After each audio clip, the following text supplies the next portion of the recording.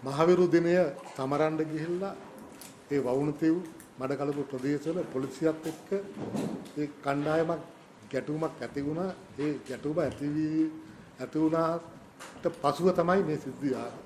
ඒ නිසා මුලදී මේ වවුනතිව් පොලිස් නිලධාරී දෙනාගේ ඝාතන සිද්ධිය සම්පූර්ණයෙන්ම බොහොමයක් දෙනා බුද්ධියන්ස පවා සැකකලේ මේ LTT සංවිධානයට සම්බන්ධ කණ්ඩායමක් විසින් මේක කරන්න ඇති කියලා මුලින් සැකය යොමුනේ ඒ පැත්තට. පසුව ඒ ගැන සොයාගෙන යද්දි තමයි මේ සහරාන්ගේ කණ්ඩායමේ හිටියා කෆූර් කියලා පුද්ගලෙක්. ඒ පුද්ගලයා අත්තරඟුටපත් වුණාට පස්සේ තමයි අපිට එළිදරව් වුණේ ඒ මඩකලුපේ සිද්ධීන් දෙකටත් මේ කණ්ඩායම සම්බන්ධයි.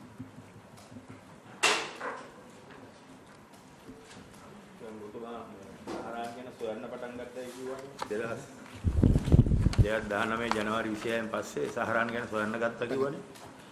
දැන් සහරාන්ට විවෘත වරේතු තිබුණනේ 2017 ඉඳලා. එතකොට මේ සොයන්න පටන් ගන්නකොට අර වරේතු තියෙනවා ගැන දැනගෙන හිටියද? නැහැ. දැනගෙන හිටියේ නැහැ. නැහැ. මොකද മന്ത്രിතුමනි අපරාධ පරීක්ෂණ දෙපාර්තමේන්තුව මේ පරීක්ෂණයට සම්බන්ධ වුණේ දෙසැම්බර් මාසේ 22 වෙනිදා පස්සේ. ඊට කලින් මේ පිළිබඳ පරීක්ෂණ තිබිලා තියෙනවා. ඒක තිබිලා තියෙන්නේ එහි පොලිසියයි සත්‍යවාදී වර්තන කොට TID එකයි විතර. ඒ කාලේ වෙනකොට TID එක මගේ අතටපත් වෙලා තිබුණේ නැහැ. ඒ නිසා ඒක TID එකේ වෙනම ඒ ගැන විමර්ශනයක් පවත්වලා ඒක සහරන් සම්බන්ධයෙන් වරන්තුවක් කරන් තිබුණා කියලා මම පසුව දැනගත්තා. TID එක ඔබතුමා යටතටපත් වුණේ කවදා ඉඳලාද TID එක මගේ අතටපත් වුණේ 2019 දිනේ හරියට මතක නැහැ මැයි මාසයෙන් පසු. බෝම්බ වලින් පස්සේ. පස්සේ. ඊට පෙරත් TID කාලයකට CID යටතේ තිබුණා නේද? තිබුණා മന്ത്രിතුමනි 2014 2015 මුල් වාගේ වෙනකොට ඒ කාලේ වෙනකන් TID එක CID එකේ නියෝජ්‍ය පොලිස්පති යටතේ තමයි තිබුණේ. නමුත් මම හිතුවා දැන් ඒක ඊට පස්සේ ඒක වෙනස් වුණා එකට වෙනම DIG කෙනෙක්පත් වෙලා යා පොලිස්පතිතුමා යටතේ තමයි යා ක්‍රියාත්මක. දැන් මේ සහරාන් ගැන ජනවාරි 26 සොයන්න පටන් ගත්ත එක ඒක බුද්ධි සම්මන්ත්‍රණයක් තියෙනවානේ සුමානකට පාරක්ද කොහෙද? ඒ සම්මන්ත්‍රණ වලදීම කොහෙදිවත් කියවුන්නේ නැද්ද? මන්ත්‍රීතුමනි මේ සහරාන් ගැන සහරාන්ලගේ මේ පුහුණුව සම්බන්ධයෙන් මේ තොරතුරු එළදලා වුණාන් පස්සේ අපි වාර්තාවක් යවුවා පොලිස්පතිතුමාට ඊට පසු අපි කිව්වා මේක අපි හිතනවට වැඩි දුර මේ ගිහින් තියෙනවා කියලා. නමුත් ඒක කොතරම්වත් සාකච්ඡා වුණේ නැහැ. පොලිස්පතිතුමාට ගියා නම් SIS DIG-ටත් යන්න නැති නේද කියන වර්තාව. ඔබතුමා පොලිස්පතිතුමාට අරපු එක. පොලිස්පතිතුමා කාත් සමග මේ උමාර කරගත්තද කියන එක මම දන්නේ නැහැ මන්ත්‍රීතුමාගේ. නමුත් බුද්ධියන්ත සාකච්ඡාවලදී මම ගියේ ඒකෙදි මේක සාකච්ඡා වුණාද කියන එක මතක නැහැ. බුද්ධියන්ත සාකච්ඡාවලට මට එන්න කියලා පැම් කැඳවීමක් ලැබුණොත් පමණයි මම යන්නේ. නැත්තම් නිදාරේ කියන්නේ. එතකොට ජනවාරි 26න් පස්සේ ඔබතුමාලා සහරාන් ගැන කරපු පරීක්ෂණ බුද්ධ්‍යංශ සමග සම්බන්ධීකරණ තිබුණාද නැද්ද කියලා ඔබතුමා දන්නේ නැහැ. බුද්ධියන්ත සමග මේ මන්ත්‍රීතුමනි මේ රාජ්‍ය බුද්ධි සේවයත් සමග නිරන්තරයෙන් අපි මේ තොරතුරු හුමාරු කරගත්තා. මේ අපිට ආපු තොරතුරු රාජ්‍ය බුද්ධි සේවයට අපි ලබා දුන්නා. ඒ වගේම රාජ්‍ය බුද්ධි සේවයට අවස්ථාව ලබා දුන්නා අපි ගාව ඉන්න නැකතරුවන්ට ඇවිල්ලා ප්‍රශ්න කරලා ඒගොල්ලන්ට අවශ්‍ය තොරතුරු ලබා ගන්න. ඒ නිසා ඒ ඒ සම්බන්ධතාවය තිබුණා. එහෙමනම් රාජ්‍ය බුද්ධි සේවය අප්‍රේල් මාස 9 වෙනිදා වගේ ඒ අයට ලැබුණු තොරතුරු CID-ට ලබා දුන්නාද? ඔව් මන්ත්‍රීතුමනි. අප්‍රේල් මාස 9 වෙනිදා හෝ 10 වෙනිදා ආපු ඒගොල්ලන්ගේ බුද්ධිවංශ වාර්තාව ඒකේ තියෙන සැකකරුවන් සම්බන්ධ විස්තරات එක්ක අපිට ලැබුණා. ඒ වෙනකොටත් එතනින් කීප දෙනෙක් අපේ විමර්ශනයේදී අපි සැකකරුවන් ලෙස අඳුරගෙන හිටපු කට්ටිය. ඒ සම්බන්ධයෙන් අපි විමර්ශන නිලධාරීන් අපි නැවත දැනුමක් කරලා ඒ විමර්ශන දිගටම අපි කරගෙන ගියා මේ සැකකරුවන් අත්අඩංගුවට ගැනීම. අත්තරම මන්ත්‍රීතුමනි මේ සිදුවීමෙන් පස්සේ මෙච්චර ඉක්මනට අපිට මේ අය අත්අඩංගුවට ගන්න ඒති උනේ සිද්ධියත් එකම වගේ අර දඹුල්ලෙන් අත්අඩංගුවට නවපුව මමුලවිගේ අත්තරඟට පත්වීමත් සමග මොකද ඒ වෙනකොට අපි අය මේ සැකකරුවෝ ගැන අපිට දැනුමක් තිබුණ නිසා දැන් ඔබතුමා ජනවාරි 26න් පස්සේ දැන් ඔබතුමා කිව්වනේ රාජ්‍ය බුද්ධි සේවයටත් මේවා දැනුම් දුන්නා කියලා. ඔව්. නමුත් එතකොටවත් රාජ්‍ය බුද්ධි සේවය ආපහු ඔබතුමාට කිව්වේ නැද්ද මෙයා මේ විවෘත වරන්තු පිටේ ඉන්න කෙනෙක් කියලා? විවෘත වරෙන්තුව සම්බන්ධයෙන් දැනුම් දුන්නාද කියන එකට මට නිශ්චිත මතකයක් නැහැ මේ මන්ත්‍රීතුමනි. ඒ අපේ තොරතුරු දුන්නන් පස්සේ රාජ්‍ය බුද්ධි සේවය ඒගොල්ලෝ ගාව තියෙන තොරතුරු මෙයාගේ ක්‍රියාකාරකම් පිළිබඳ විස්තරත් එක්ක අපිට ලබා දුන්නා. දෙදස් දානවේ පෙබ්‍රවාරී නැත්තං මාර්තු මාසයේ වකවානු තුළදී සාරාන් අකරපත්තු ප්‍රදේශයේ දැක්කා කියලා තොරතුරු ලැබුණාද ඔබතුමන්ලට. දෙදස් දෙදස් දානවේ ෆෙබ්‍රවාරි මාර්තු මාස වගේ. දෙදස් දහනමේ පෙබ්‍රවාරි මාසයේ වෙනකොට අපි සහරන් හොයනවා. අපිට ඒ දවස්වල නැගෙනහිර ප්‍රදේශයේ කාතන්කුඩි කාතන්කුඩි ප්‍රදේශයේ ඉන්නවා කියලා අපිට තොරතුරු ලැබුණා. කාතානකුඩි ප්‍රදේශයේ ඉන්න බව තොරතුරු ලැබුණා. තොරතුරු ලැබුණා. අක්‍රප්‍රතු ප්‍රදේශයේ හිටියද කියන එක මට නිශ්චිතව කියන්න බෑ. ඒ තොරතුරු නෑ මෙතන සාක්ෂිකරු කීප දෙනෙක් කිව්වා ඒගොල්ලන් දැක්කා ඒ තොරතුරු දුන්නා වාහන නම්බර එක දෙන්න කියලාත් සියරිට දුන්නා කියලා කිව්වේ නෑ. හැබැයි දුන්නා කියලා කිව්වා. ඒ තොරතුරු සියරිටත් ලැබුණාද කියලා තමයි මම අහන්නේ. ඒ- ඒ ගැන මට නිශ්චිතව කියන්න ඒ අකරපත්තු ප්‍රදේශයේ සමහර විට හිටියා කියලා. අධ්‍යක්ෂකවරයා සමහර විට CID ගේ අධ්‍යක්ෂකවරයා. සමහර විට ඒකට උත්තර දෙයි. කොහොමදත් මම තුමනේ සහරා ඉන්න තැන් පිළිබඳ එවැනි තොරතුරු තිබුණා. ඒ තොරතුරු තිබුණ හැම ප්‍රදේශයකටම අපි කණ්ඩායම් යවලා තිබුණා. මට අක්‍රපත් ප්‍රදේශය ගැන තොරතුරු ගැන මට නිශ්චිතව මතකයක් නැහැ. ඔබතුමා නැවතත් අහන්නේ නැවත පැහැදිලි කරගන්න. ඔබතුමා මේ ජනවාරි 26න් පස්සේ ආරාන් ගැන සොයනකොට ඒක SIS එකටත් දැනුම් දුන්නා කිව්වා. ඊට පස්සේ SIS එක තුන තොරතුරුත් ඔබතුමාලාට ලැබෙන්න සැලසුවා කිව්වා. දැන් අපි මේ දැන් තමුන්නාසේ සතිපතා සහභාගී වෙනවානේ ආරක්ෂක මණ්ඩලයේ රැස්වීම වලට. අමතුමනේ දැන් මම සහභාගී වෙනවා. දැන් සාමාන්‍යයෙන් කලින් අපරාධ පරීක්ෂණ දෙපාර්තමේන්තුවේ නියෝජ්‍ය පොලිස්පතිවරයා සහභාගී වෙන්නේ ආරක්ෂක මණ්ඩලයට කැඳවීමක් ලැබුණොත් පමණයි අපි සහභාගී වෙන්නේ. දැන් කැඳවීම ලැබෙන අපි එතකොට මේ කාල පරිච්ඡේදයේ ස- මේ ජනවාරි වල ඉඳලා අප්‍රේල් වෙනකන් කැඳවීම් ලැබුණා. නැහැ. එකකටවත් සහභාගී වුණේ නැහැ. පවුනතිව් පොලිස් නිලධාරීන් දෙන්නගේ ඝාතනීය සිද්ධිය අපරාධ පරීක්ෂණ දෙපාර්තමේන්තුව බාරගත්තට පස්සේ මම ආරක්ෂක මණ්ඩලය රැකීමට කැඳවලා ඒ විමර්ශනය පිළිබඳ එතන ගතිය අතර විමසා බැලුවා. ඒක උනේ නොවැම්බර් මාසයේ 30නේ නොවැම්බර් 30 දෙදස් දාට එදා 18 දාට. ඉන් පසුව ආරක්ෂක මණ්ඩලය කීප වතාවක් රැස්ුණාද? ඒක මම කියන්න දන්නේ නැහැ. එහෙනම් නෑ ඔබතුමා කියන සාක්ෂිය අනුව ජනවාරි ඉඳලා ගියේ නෑ. නොවැම්බර් 30ට පස්සේ ගියා නම් දෙසැම්බර් මාසේ විතරයි යන්න ඇති. මන්ත්‍රීතුමනි මම ස්ථිරවම ආරක්ෂක මණ්ඩලයට රැස්වෙන නිලධාරියෙක් නෙවෙයි. ඔව් ඒක හරි.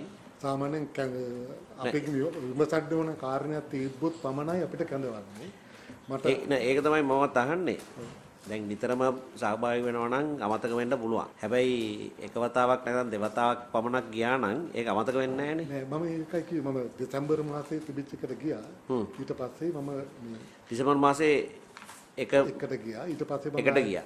ඊට පස්සේ ආයේ මට කැඳවීමක් ලැබුණේ නෑ. ලැබුණේ නෑ. ඊට පස්සේ දැන් මේ දවස්වල තියෙනවට මම යනවා. දෙසැම්බර් මාසේ ඒ රැස්වීම දිනය මතකද? දිනේ මතක නෑ මම හිතන්නේ අ, දෙසැම්බර් මාසේ මැද වගේ. සන්ඩේ. නෑ දෙසැම්බර් මාසේ මැද මැද, මැද. අපි දවසක තිබුණා.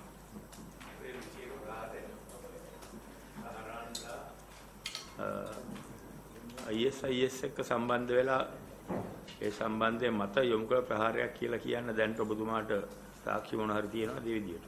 මන්ත්‍රීතුමනි ප්‍රහාරයෙන් පස්සේ මේගොල්ලෝ ඉන්දුනීසියාවේ වෙන තුන්වන පාර්ශ්වයක් කරහා ISIS නායකත්වයට මේ සම්බන්ධයෙන් ප්‍රකාශයක් නිකුත් කරන්න කියලා ඉල්ලීමක් කරලා තිබුණා. ඒකත් වෙනත්? වෙනත් පුද්ගලයෙක් කරහා මේ කණ්ඩායම. ඒ ඇරෙන්න මේක තාම අපරාධ පරීක්ෂණ දෙපාර්තමේන්තුවේ විමර්ශන අනුව අපි සාක්ෂි වලින් මේක ISIS සම්බන්ධතාවයක් ගැන අපිට සාක්ෂි නැහැ. නමුත් මේ අය ISIS මතවාදය තමයි ගෙනිච්ච කියන එක මේ විමර්ශන වලින් ඒක පැහැදිලියි. තවත් පැත්තකින් පැහැදිලි කරනවා නම් මේ ISIS ක්‍රියාකාරකම් වලට ඒ කියන්නේ එකකින් උද්දීපනය වෙච්ච කණ්ඩායමක් මේක කරා කියන එක තමයි අපිට කියන්න පුළුවන් දෙරෙක් ISIS ඉන්වෝල්ව්මන්ට් එකක් ගැන අපිට තාම විමර්ශනය කියන්න අපිට අමාරුයි. මේ දිගන දිගන වෙච්ච සිද්ධියට පස් පසුව සහරාන් අ, විශේෂයෙන්ම ඉස්ලාමික තරුණ අයට ආමන්ත්‍රණය කරලා කරපු කතාව මේ සෝෂල් මීඩියා වලින් අපි දැක්කා. ඒවා ඔබතුමා දැකලා තියෙනවද? ඒ දෙමළ භාෂාවෙන් කතා කරන අය. ඒ- එහිදී මේ බෞද්ධ අය ඉස්ලාම් අයට ගානවා කියලා ඒ ඒ වගේ තමයි කතා කරන්නේ. එතනින් ක්‍රිස්තියානි අයට විරුද්ධව මොනවත් මං දැකලා නැහැ මං අහලා නැහැ ඒ කතා වලින්. ඒක හරිද? මන්ත්‍රීතුමනි මට මාධ්‍ය නැතුව එක right උත්තර දෙන්න පුළුවන් දේව. right. එහෙනම් පසුව අන්තිමේදී අපි ඒක ගමු. මේ ප්‍රහාරයෙන් පස්සේ ඔබතුමා දකින්න ඇති අ, දයසිරි ජයසේකර මන්ත්‍රීතුමා මාධ්‍යවලටත් කිව්වා මේ කමිටු ඉස්සර ඇවිල්ලා කිව්වා ටාජ් සමුද්‍ර හෝටලේ බෝම්බය නුපුරවා ගැනීම සම්බන්ධ යම් තොරතුරක්. ඔහු කිව්වා ඒ වෙලාවේ අ, ටාජ් සමුද්‍රයේ අ, විශේෂ ප්‍රභූ පුද්ගලයන් කීප දෙනෙක් හිටියයි කියලා. ඒ සම්බන්ධයෙන් මොනවා හරි තොරතුරක් ඔබතුමාට වාර්තා වෙලා තියෙනවද? තාජ් සමුද්‍රා හොටලේ හිටපු විශේෂ පුද්ගලයන් කවු සම්බන්ධයෙන් අපිට වාර්තා වෙනවා. ඔහු ඒ ප්‍රකාශය කරාට පස්සේ අපරාධ පරීක්ෂණ දෙපාර්තමේන්තුවෙන් ඔහු කැඳවල ප්‍රකාශයක් ගැනීමක් හෝ.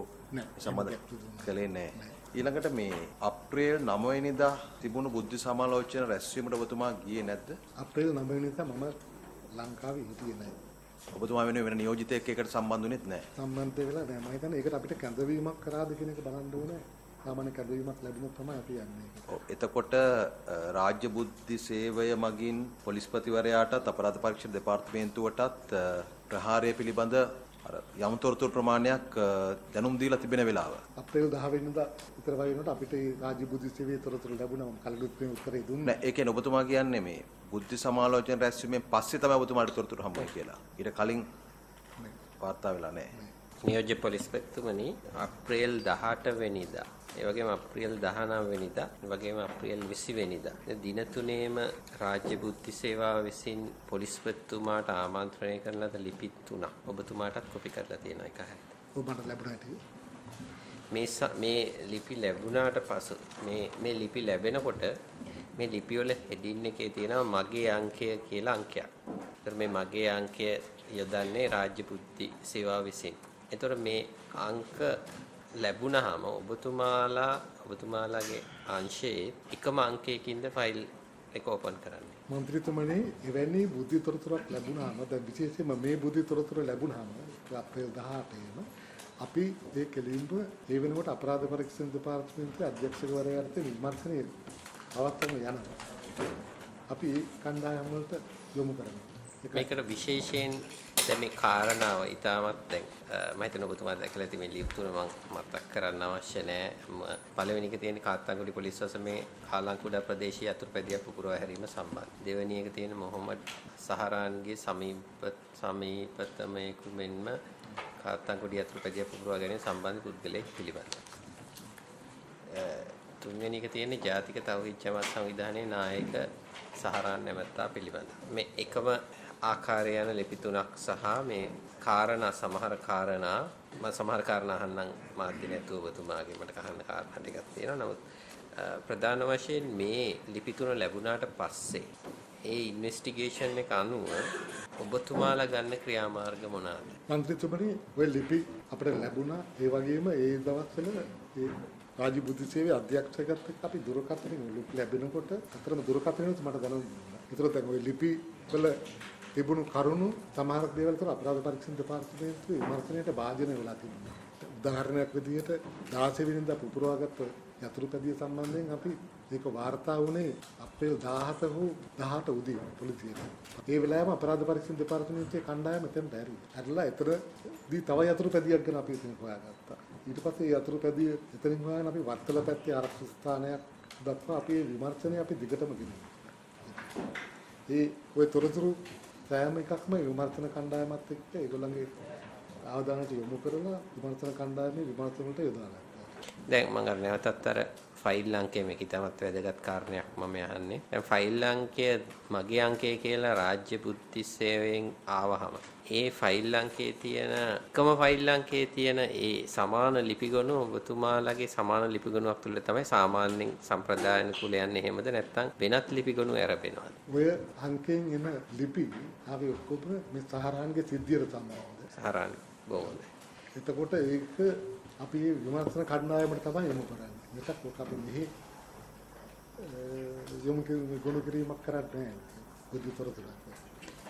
නමුත් මේ රාජ්‍ය බුද්ධි අංශයෙන් ඇවිල්ලා තියෙන ලිපි ගොනු අතරේ දැන් මේ ලිපි තුනම ඇවිල්ලා තියෙන S17යි 58 කියන අංකයෙන් ඊළඟට තව ලිපියක් එනවා S16යි 12 කියන අංකයෙන්. සාමාන්‍යයෙන් එකම සබ්ජෙක්ට් එකට සම්බන්ධ කාරණාවලදී මා අංකය වෙනස් විය හැකිද?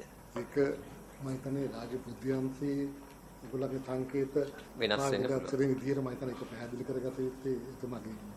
2019 අප්‍රේල් මාසේ 9 වෙනිදාට පසු අර කතන්කුඩේවල බස් මොටර් සයිකලයේ පුපුරම් පිළිබඳ ඔබලට දැනුම් දීමක් කරුණා ඊට පසුව 21 වෙනිදාට ආසන්නව නැත්නම් 21 වෙනිදා යම් දැනුම් දීමක් කරනු ලැබුවද අලුත් බුද්ධි තොරතුරු.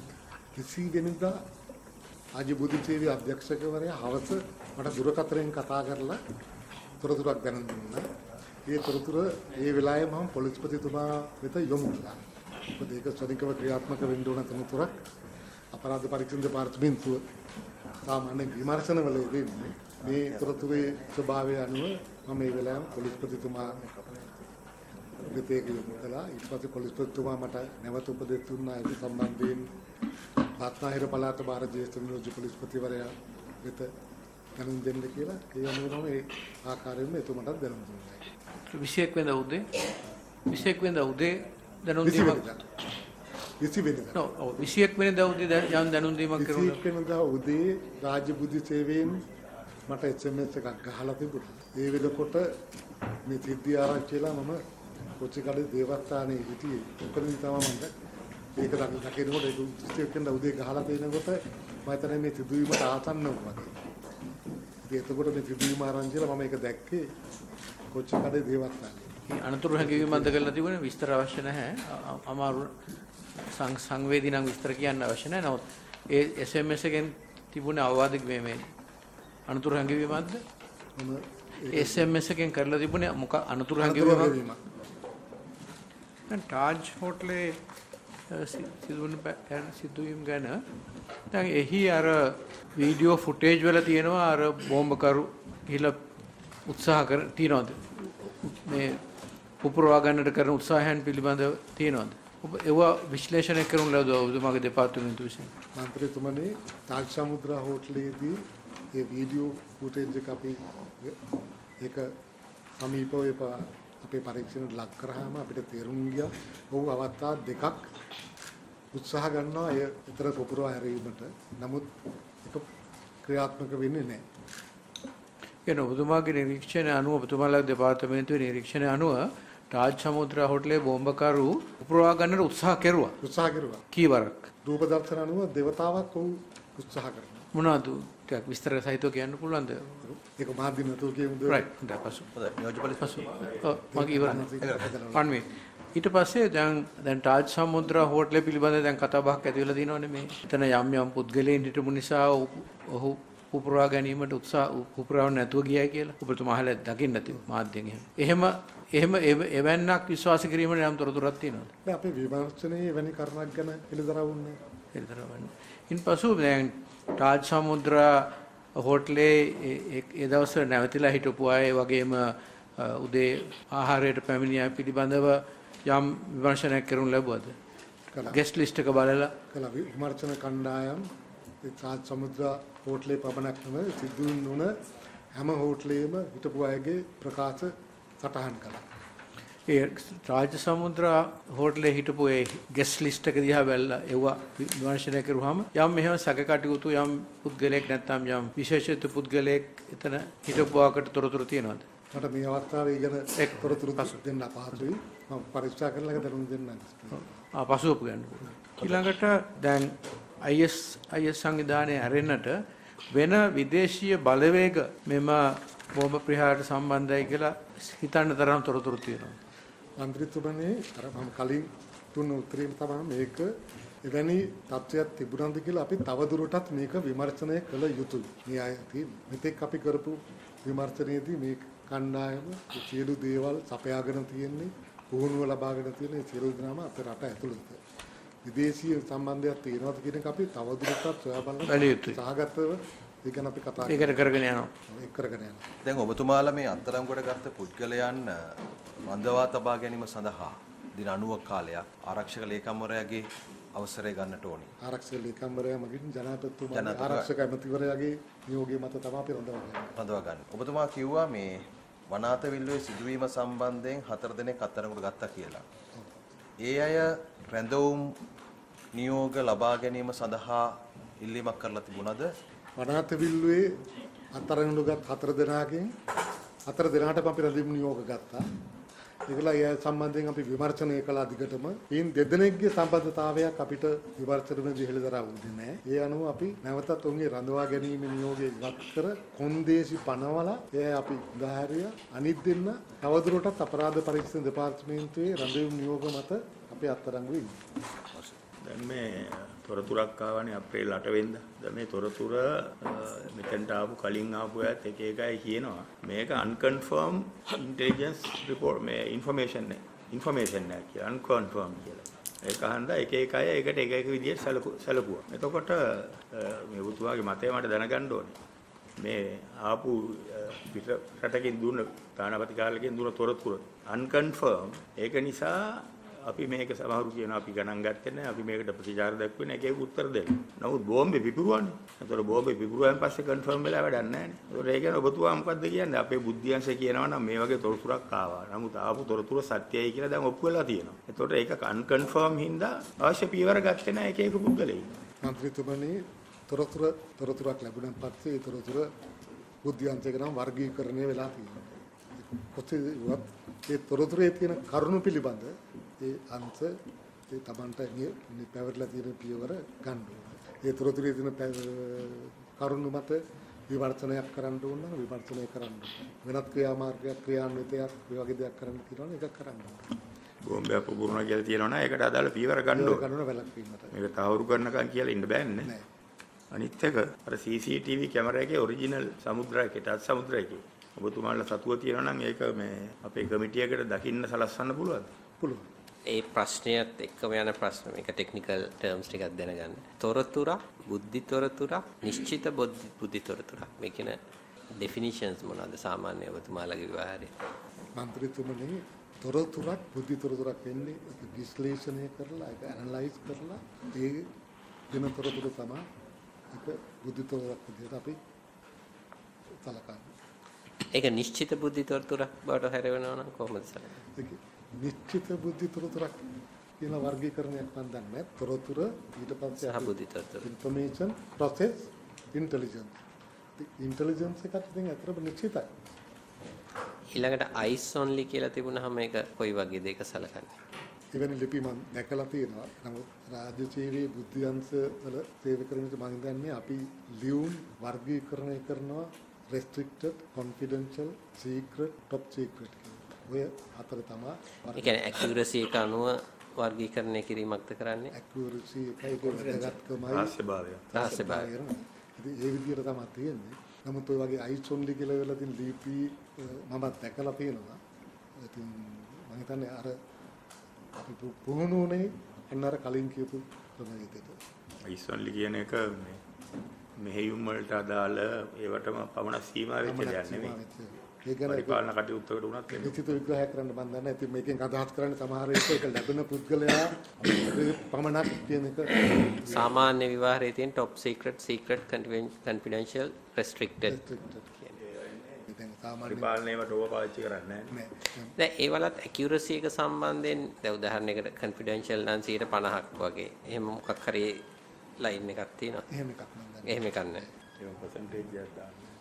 මේට්‍රික්ස් එකක් තියෙනවා. මම මතු කරපු ප්‍රශ්නයට අදාළව මම අහන්නේ ඔබතුමාගෙන් දැන් අ, නවවෙනිදා අ, ලැබුණු තොරතුර උද්‍යාංශයෙන් තුමාට වාර්තාවක් එවුවනේ නවවෙනි. එය ඔබ සලකුවේ ඒ ඒ ලිපිය දිහා බලනකොට ඔබ සලකන්නේ එය අර කුමන මට්ටමේ තොරතුරක් කියලාද ඒක මන්ත්‍රීතුමනි ඒ තොරතුර ඒ සහරාන්ගේ ක්‍රියාකාරකම් තමයි ඒගොල්ලෝ කරන්න ඉන්නේ මේක. එතකොට මේ සහරාන් කියන පුද්ගලයා වනාත විල්ලුවේ සිදුවීමත් සමග අපේ විමර්ශනයේ සැකකරුවෙක් විදිහට පත් වෙලා තියෙනවා. ඉතින් එතකොට අපිට මේ තොරතුර එක එකක් අපේ විමර්ශනයෙන් ලබාගත්ත මේ ඒ ලැබුණු දේ මේකෙන් තහවුරු වුණා.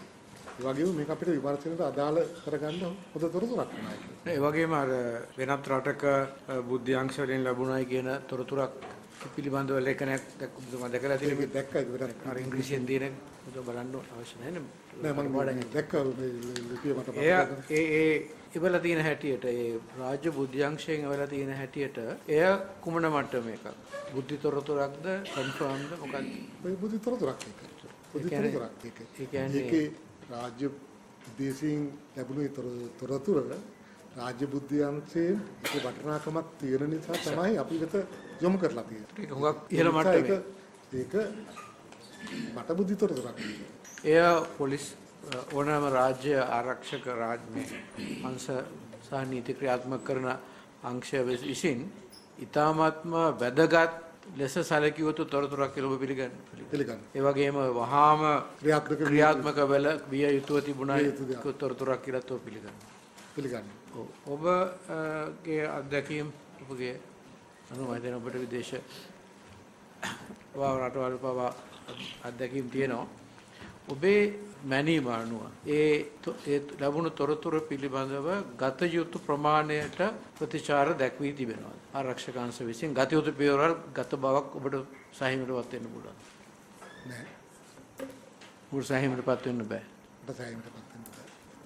ඔබ you want to say this in public or you want to give further evidence in um, without the media මේ සම්බන්ධයෙන් මාදී නැතුව අපි කතා කරමු.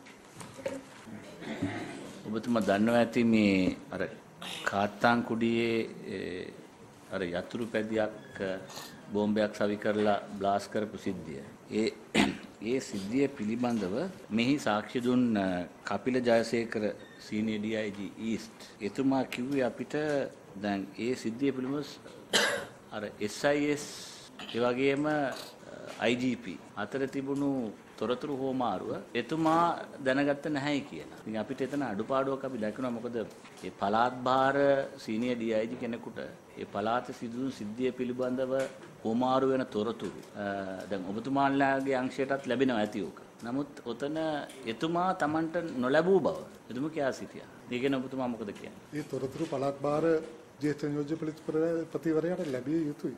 ඒකයි. මන්ත්‍රීතුමනි කාතන්කුඩි සිද්ධිය ඉස්සෙල්ලාම වාර්තා වෙන්නේ ඒ පොලිස් ස්ථානයට. ඔව්. ඒ ඒකේ. දින ගාණක් දිනයක්ද දෙක පහු වෙලා. ඊට පසුව තමයි ඒ ගැන අපරාධ පරීක්ෂණ දෙපාර්තමේන්තුවට දැනුම් දෙන්නේ. අත්‍තරම අපරාධ පරීක්ෂණ දෙපාර්තමේන්තුවට ඒ සිද්ධිය දැනුම් දුන්නේ රාජ්‍ය බුද්ධි සේවය. ඒ අනුවයි අපරාධ පරීක්ෂණ දෙපාර්තමේන්තුවේ කණ්ඩායම නැගී කාතන්කුඩි ප්‍රදේශයට මේ පිපිරීම සම්බන්ධයෙන් විමර්ශනයක් කිරීම සඳහා යවන්නේ. ඒකකොට රාජ්‍ය බුද්ධි සේවයේ තොරතුරු ඒ ජ්‍යෙෂ්ඨ නියෝජ්‍ය පොලිස්පතිවරයාට ලැබුණ නැති කියන එක තියෙනවා මම දන්නේ මගේ මේකට විසියට එන කාරණයක් නෙවෙයි නමුත් මගේ මතය එයා දැනගත යුතුයි ඒක. මොකද ඒක අපි අදාළ ලියුමේ තිබුණු තොරතුරු පිළිබඳව දැන් එතුමා අපි ඇහුවාම එතුමා කිව්වා එතුමාට ඒක දැනුම් දීලා තිබුණ නැහැ කියලා.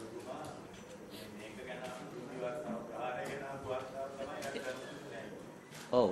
නෑ නෑ ඒ- කියන්නේ නෑ නෑ කාත්තාන් කුඩි සිදුවීම නෑ ඒ සාතානුරු සිදුවීම් පස්සේ ඒ බයිසිකලේ අයිතිකරු කවුද? ඒක ඊට පස්සේ CID එක හොයලා තිබුණා. කොහෙ කොහෙද මේ මේ මේ වාහනේ ගිහින් තිබුණේ කියලා. ඔය වගේ තොරතුරු එතුමාට ලැබිලා නෑ. එන් ඒ උඩට ගියාට පස්සේ පල්ලහට එන්නේ නෑ. ඔය එතන මන්ත්‍රීතුමනි ඒක ඉතින් තොරතුරු නොලැබීම මම හිතන්නේ අඩුපාඩුවක් කියලා මම හිතනවා. එයාට දැනුම් දෙන්න ඕනේ තොරතුරු. ඉතින් එතනදී මුනේ ඔය සිදුවීම සම්බන්ධ විමර්ශනය පටන් ගන්න සිද්ධ වෙන්නේ 18. මොකද 17 වෙනකන් ඒක වාර්තා වෙන්නේ නැහැ. ඊට පස්සේ ඉතින් මේ සිදුවීම සිදුවුනේ 16 මයි හිතන්නේ. 16 නමුත් ඒක පොලිසියට වාර්තා වෙන්නේ නැහැ. පොලිසියට වාර්තා වෙන්නේ ඉඩම අයිතිකාරයා ඉඩමට ගියාට පස්සේ තමයි මේක මෙවැනි සිද්ධියක් වුණා කියලා දැනගන්නේ. පොලිස්පතිතුමා දැන් ඔබතුමාලා දීලා තියෙන්නේ සීක්‍රට් 2019 ජනවාරි වනාත විල්ලුව සිද්ධියෙන් පස්සේ සහරාන් සැකකරුවෙක් හැටියට සොයමින් ඉන්නවා. ඒ අතර රාජ්‍ය බුද්ධි සේවාව වාර්තා කරන ඔබතුමාටත් පිටපතක් සහිතව මාර්තු මාසේ 29 අක්කරීපත්තු පල්ලිකුඩීරපු ප්‍රදේශයේ සහරාන් බයිසිකලයක ගමන් කරනවා ඉන්නවා කියලා. අශ්රෆ් නගර ඔළුවිල් ලිපිනේ අක්කර පහක අ, ගොවිපලක සහරාන් කුඩා දරුවෙක් රැඳී ඉන්නවා කියලා විවිධාකාරයේ වාර්තා වෙනවා බුද්ධ්‍යංශ මගින් ඔබතුමාලට. එතකොට අපිට මේ ඇයි සහරාන් අත්තරම ගන්න බැරි වෙන්නේ?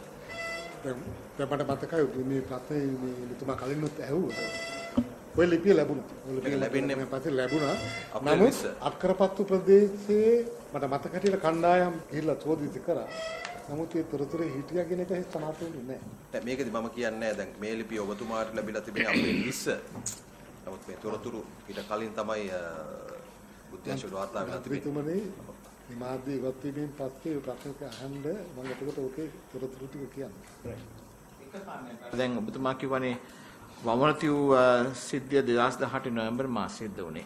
ඒතකොට ඒක බල අපි හිතුවේ අර ඒගොල්ලන්ගේ ඉටි සංවිධානයේ රණවිරු මොකද්ද මොකද්ද ඒකට සම්බන්ධයි කියලා තමයි ඒ ඒ අ, පරීක්ෂණ කරගෙන ගියේ. ඊට පස්සේ මාවනල සිද්ධිය වුණේ 2018 දෙසැම්බර් මාසයේ. ඒතකොට ඒකෙදි මාවනල සිද්ධියේදී අර කබීර් රෂීම් මහතුමාගේ ලේකම්වරයෙකුට උඩ තියලා ඒ කාතනයයි සහ වනාන්ත බිල්ලුවේ ඔක්කොම ටික එකතු කරගත්තාම කොතනදී හරි සැකයක් ආවේ නැද්ද මේක එකට එකක් සම්බන්ධයක් තියෙනවා කියලා එහෙම ඔබතුමාලගේ පැත්තෙන් එහෙම දැනගන්න ආරංචියක් තිබුණා නේද? මන්ත්‍රීතුමනි පළවෙනි සිදුවීම ඉන්නේ නොදැන් මේ මේ ටික එකට ගොනු වුණේ මේ සිද්ධියෙන් පස්සේ පළවෙනි සිදුවීම සිදුවෙන්නේ නොවැම්බර් මාසයේ 30. ඒක ඒ අවස්ථාවේ සම්පූර්ණ ඒකේ අවධානය සැකය යොමු වෙන්නේ එල්ටීටි සංවිධානයේට සම්බන්ධ කවුරු හරි එක කළා කියලා. ඒ ඒ අවස්ථාවේදී දෙසැම්බර් මාසයේ 22 වෙනිදා මේ සිදුවීම් වෙනකොට මේ කණ්ඩායමේ මේ සිදුවීම් අතරේ සම්බන්ධතාවයක් ඒ අවස්ථාවේ කිසිම අවස්ථාවක හෙළි වුණේ නැහැ. ඊට පසුව අපිට මේක තරමක් හෝ සැකයක් ඇති වෙන්නේ කාතන්කුඩි පිපිරීමෙන් පස්සේ. මේ මාවනල්ලේ සිදුවීම් වල කණ්ඩායම තව තවත් ක්‍රියාකාරකම් වලට සම්බන්ධයි. එතරම් තමයි අත්‍තරම මේ පිපිරීමේ සිද්ධියෙන් පස්සේ තමයි මේ ගැන සැකය තහවුරු වෙන්නේ.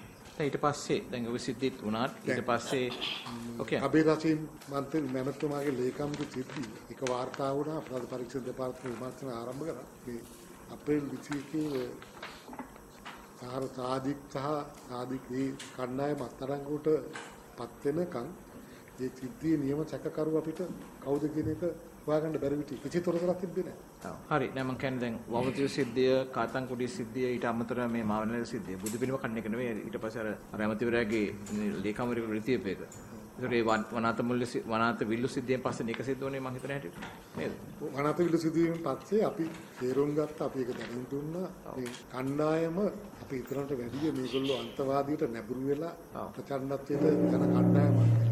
දැන් ඒකදි මට දැනගන්න ඕනේ. දැන් ඊට මේ සිද්ධිත් එක්ක තමයි ඊට පස්සේ ඉන්දි- මේ අපිට විදේශ දූත මණ්ඩලයකින් නැත්නම් විදේශ මේ බුද්ධ්‍යංශයකින් අපිට තොරතුරු හම්බෙන්නේ නම් ටිකක් දාලා. සංවිධානය කවුද කියලා. නම් මේ ඒකේ නායකයා කවුද කියලා. ඒවත් එක්කම ආවේ. ඊට පස්සේ තමයි හිටපු පොලිස්පතිතුමා ඊට පස්සේ ඒක යොමු කරේ. බසහිර පළාතේ DIG සට ඒකට තමයි දැනුවත් කරේ.